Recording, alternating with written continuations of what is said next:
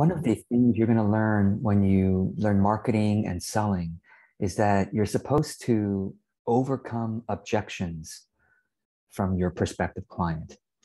You're supposed to imagine the doubt, uh, the concerns that they have about your product or your service, um, the resistance that they may be having to signing up.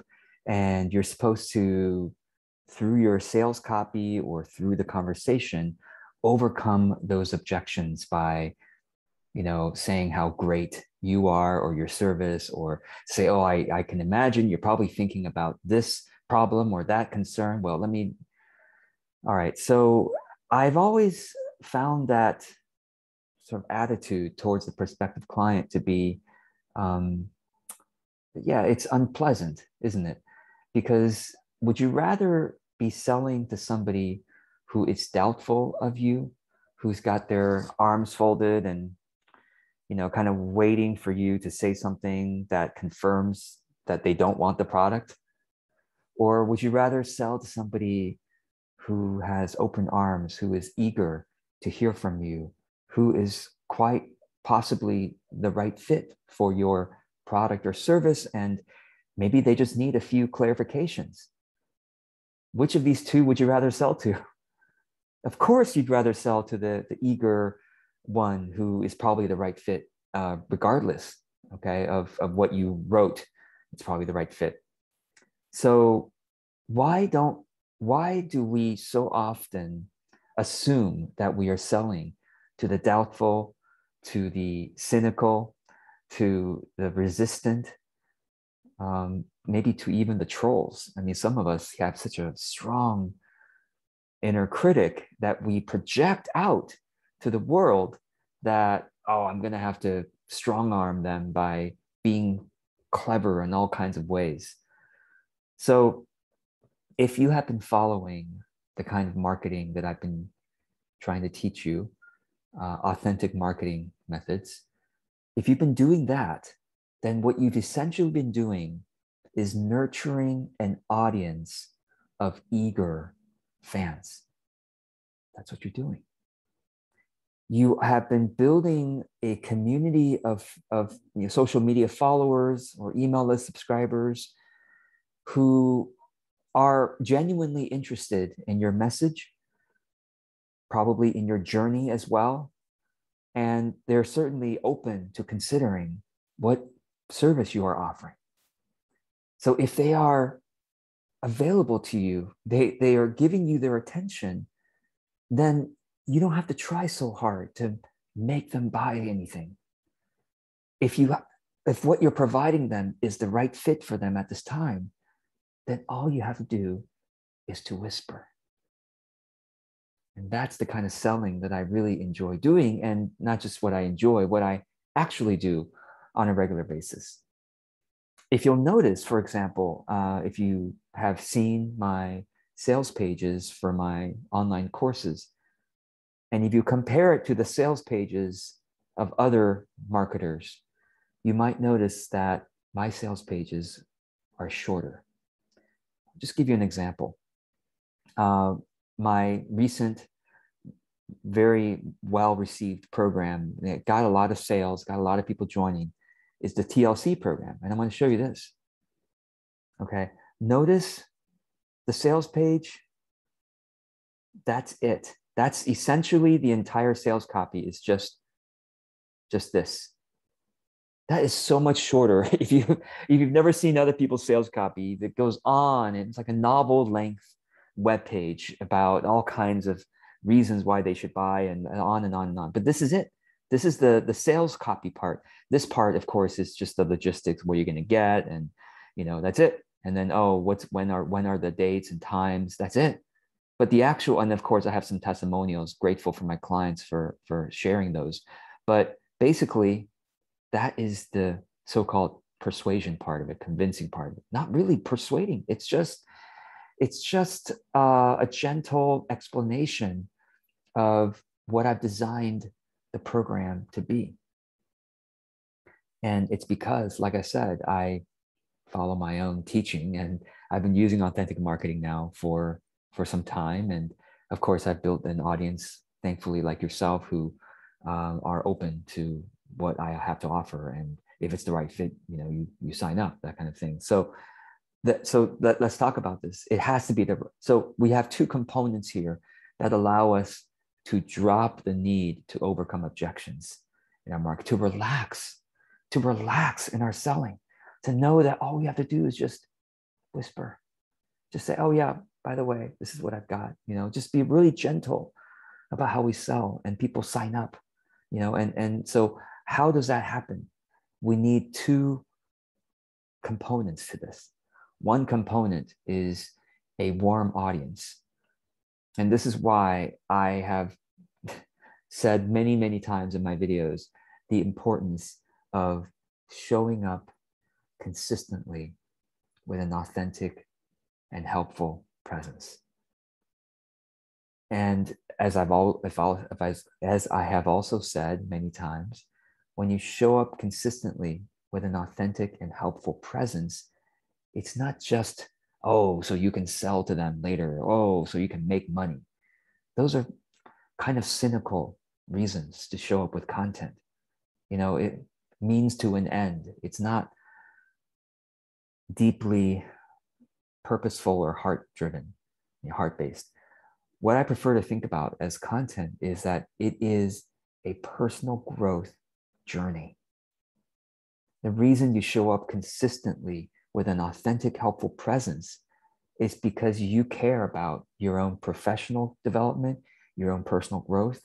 You care about the practice of expressing yourself, journaling publicly, the practice of expressing, exploring your experiences, your the ways that you've helped other people, the ways that you've helped yourself, what you've been learning, the ways that you've transformed yourself and helped others to transform themselves.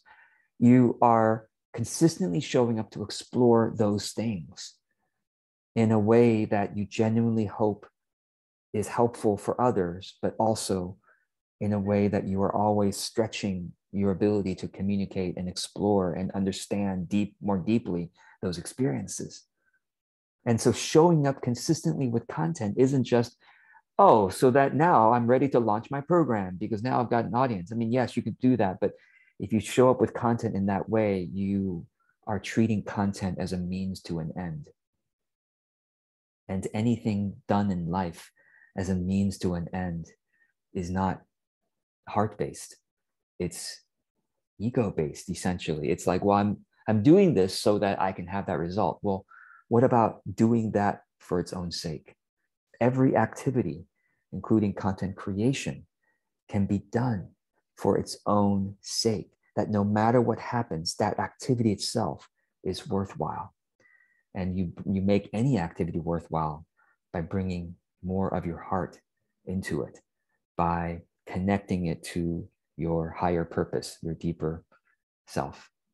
So, on the one hand, what you need to be able to sell gently and with a whisper is to have an authentic audience. And that happens organically, naturally, through the process of you showing up consistently with an authentic, helpful presence. Again, we're not doing it for building an audience. It just happens to be the way it happens.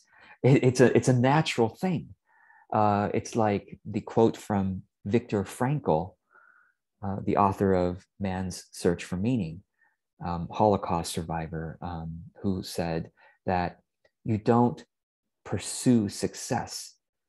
You pursue a cause higher than your little self. And along the way, success happens. Same thing.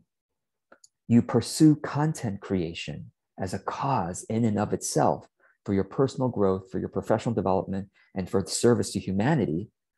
And along the way, an authentic audience builds.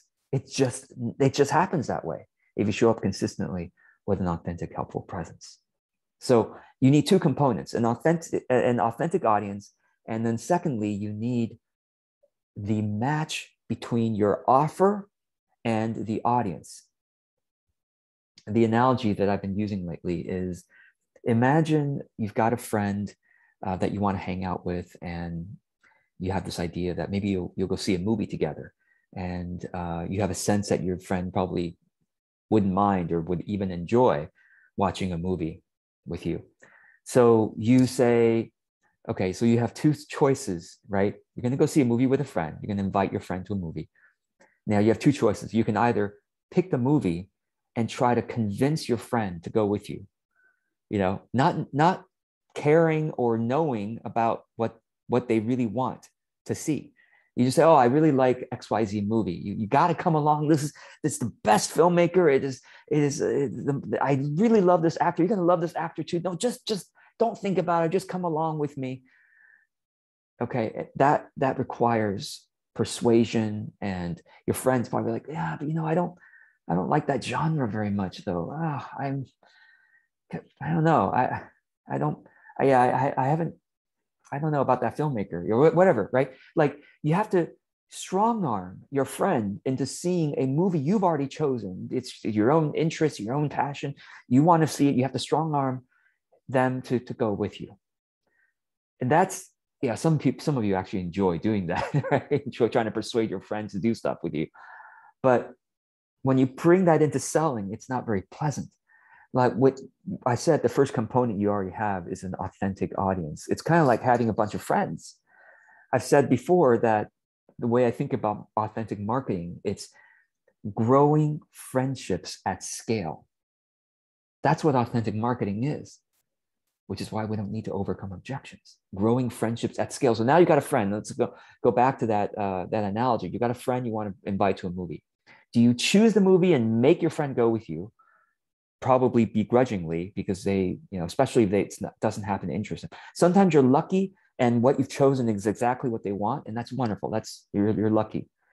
Okay, some just like sometimes when you sell something, you, you, did, you didn't do any market research. You just say, I want to sell this, and you sell it, and it happens to be something the audience wants. You're lucky. That was luck. Okay. But sometimes the movie you've chosen isn't what your friend wants to see.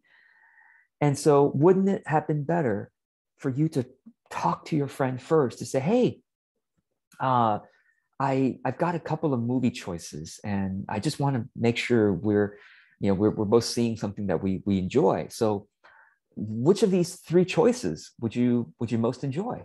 Or is there, is there a fourth one that, that I didn't name that, that we should consider too?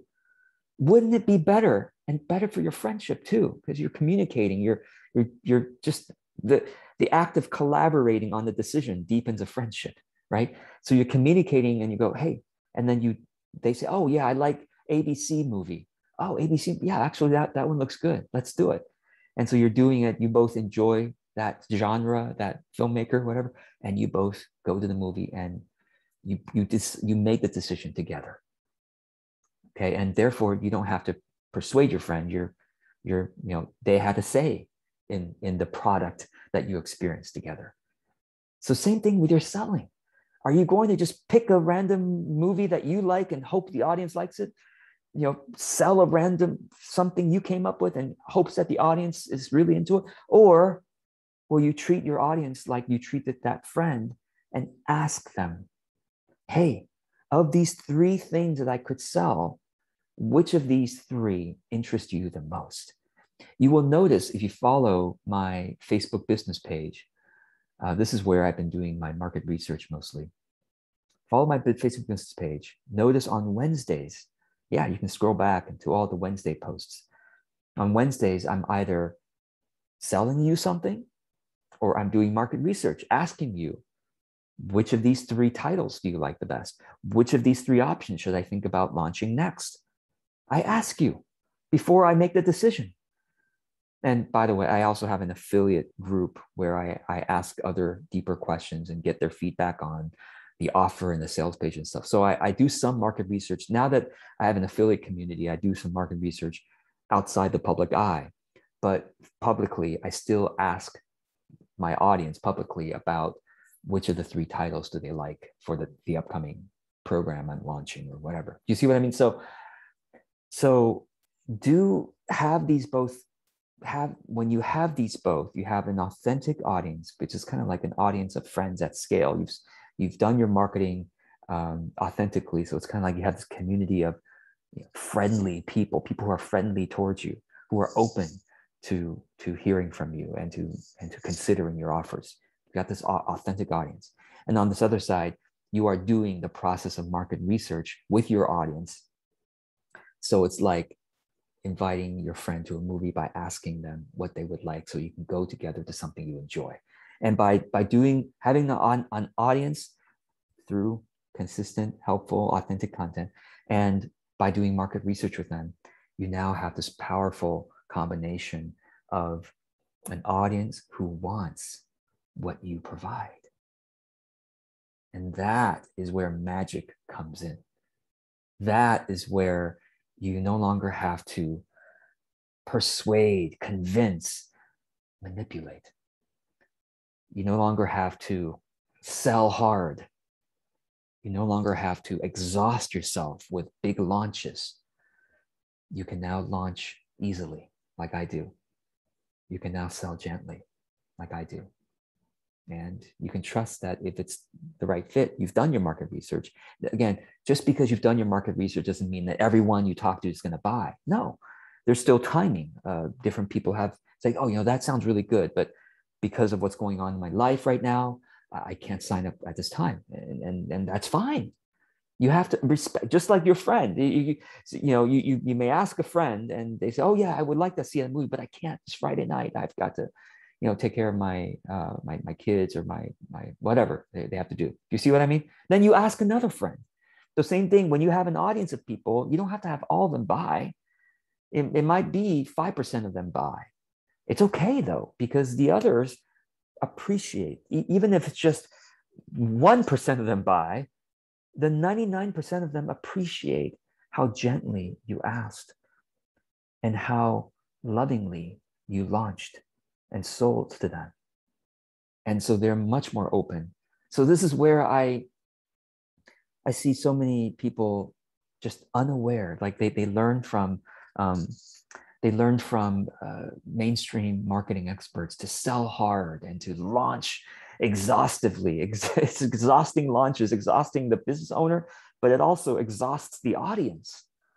They see get so many, the audience gets so many emails, you know, like, you know, five emails during the launch week. No, not even five. I mean, I, have seen launch templates that are 18 emails eh, and during the, the final week of the launch. I mean, I, I I'm like, are you serious? That's that's insane. Both for the business owner have to you know have to customize 18 emails, you know, you know, of course, the marketer has given them the perfect emails, the templates, which of course are never authentic to the business owner because it's written by somebody else. Now you customize 18 emails or five emails even. When I launch, typically two emails. That's it. I typically say, if you notice, if you join my launch email list, you, you see two emails a month. One email is, hey, pre-launch happening. Why do I do pre-launch? Because I want to make sure there's enough people buying before I decide to do the real launch, which is one more email to say if I'm going to go forward with it. So the pre-launch people get usually get a little bit of a discount. But anyway, so it's like I do two emails compared to the regular launch sequence of at least a dozen emails or more. And it's like, therefore, I have the stamina to launch every month because my launches are so easy. They're so gentle. Two emails. I can do two emails, and two emails are you know more or less the same format. And once you've come up with a format that's authentic to you, you can more use more or less the same format again and again and again. And if it's the right fit, then again, whether it's 1%, 5%, 10% buy it, the other 90 to 99% who didn't buy it on your audience will appreciate how you did it. And so they'll be much more open versus the mainstream way of marketing where they're selling hard and they're launching with many emails where they're overcoming objections. They burn out so much of their audience over time because the audience doesn't want to keep receiving you know dozens of emails per launch. But let me show you one more thing. I, I want to come back to the whole overcoming objections thing um, as we complete this video uh, i did a split test what's a split test a split test is where um, when a visitor lands on on the sales page uh, they either randomly see version a or randomly see version B. So it's like an A B test, is what some people call it. So when you visit my sales page, you don't know. You don't know because the software does it automatically. You don't know whether you're seeing version A or version B. There's like maybe there's one slight change or one significant change. So I did a split test three separate times with with with three offers, with three products. Uh, I've done many split tests, but in this case, I did three split tests about whether I should have a money back guarantee. Let's talk about this. A money back guarantee, of course, is when you say, hey, you know, I'm so confident that this product is going to do you right that if you don't like this product at all, please, you know, let me know within 14 days, 30 days, 60 days, whatever, however long, you know, 90 days or whatever. Let me know within that time and I'll give you your money back. So, is it a good idea to offer a money back guarantee? Most marketers would say, of course, of course, you should offer a money back. You should remove the risk from your audience, right? Well, here's what's surprising. I thought so too. I mean, I've, I've been trained in mainstream marketing, so I thought I got to offer a guarantee. But I started having doubts about it. For some reason, I'm like, hmm, let me let me split test it. So I tested with three different products. Okay, one page had uh, a money back guarantee, and the other page did not have a guarantee at all. Okay, it's one page guarantee, the other page not guarantee. Again, I tested this three separate times, and I was shocked to find that all three times the page version without the guarantee had at least double the number of sales. Let me say that again. The sales pages that did not have a money back guarantee had more than double the amount of sales compared to the, the version that had the guarantee. Baffling, if you were to if you were to mention this to a mainstream marketer, they'd be they'd be like, well, "That's crazy, really? Why?" Because I've built an authentic audience that doesn't need me to posture and to persuade and to cajole and to make sure they buy.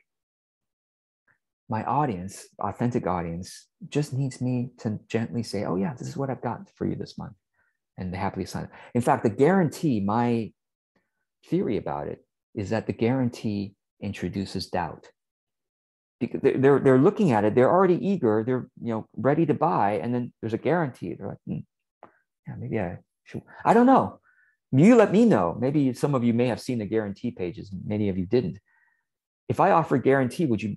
I mean, now that I say it, it might bias you, but uh, anyway, the, the the objective testing showed all three times that the one without the guarantee had a lot more sales. So um, that's why I'm doubtful about overcoming objections. I'm doubtful of whether we should write our sales pages with, with in mind the troll or the person who doesn't like us yet, who doesn't trust us yet, and we're writing for them. First of all, that's unpleasant to do. It's not enjoyable you'd rather talk to a friend rather than someone who doubts you right um, and so I, I say do your regular showing up which naturally builds an authentic audience do your market research because it's like being with a friend uh, inviting them to to something and then just gently launch gently say hey here's what i've got i don't need to persuade you i don't need to you know make guarantees or whatever no just this is what i've got i don't need to make super big promises. No, this is just what I've got. And if it's the right fit, I hope you join me. And if not, no worries, right? Because remember, just like a friendship, it's a long term relationship, not just, we don't buy, not my friend anymore. No, no, no, just a long term relationship. So I hope this is interesting and helpful. And uh, if you have any reflections, questions, I'm always open to, to seeing that in the comments below. And uh, those of you who don't know who I am, I am George Kao, authentic business coach. Uh, uh, love talking about how do we grow a business that's truly from the heart, that benefits our personal and spiritual growth, you might say. Um, you know, regardless of results, but of course, we bring our our spirit and our heart into it. We're much more likely to keep doing it. We'll grow personally regardless, but we keep doing it. We're going to grow in the skills which naturally leads to good business results. So, all right, I wish you well, and I'll see you in the next video. Take care.